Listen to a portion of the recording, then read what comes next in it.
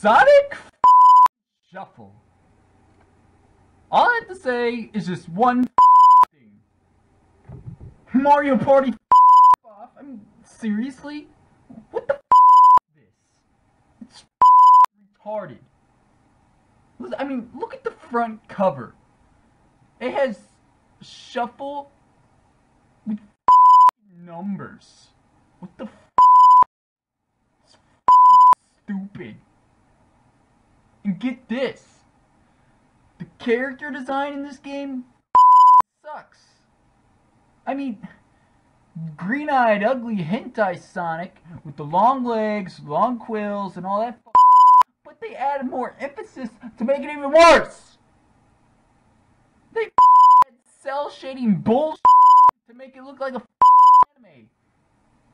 And the voice acting in this. Oh my. Tails sounds like like he's not even enthusiasm whenever he has like he gets hit. It's hearted. And Sonic's always like, whoa, whoa. And the it should have been the Sonic 1 Sonic. I mean, what, what about the good quills, good eyes, good attitude, no banana nose, good body proportions, wagging finger? I mean, what the f? I mean, this game. I mean, it's a Mario Party ripoff, and basically, it's like a anime with cel shading, and you have to go like help this stupid princess dick thing. What the fuck? And the boss in the game is retarded. He like gets big and gay.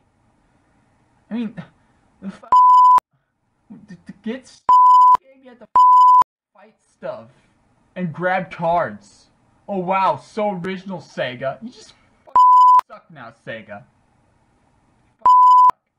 This game blows ass. And get this, you could be Supersonic and Hentai Sonic at the same time. What the f? I thought Hentai and Super Hentai were the same person. What the f? This game sucks. It's one out of ten. It just sucks. I mean, it's not as bad as any other games, but jeez, this game blows. So this shit because it sucks. Sega don't know how to make fucking good games anymore. Bags.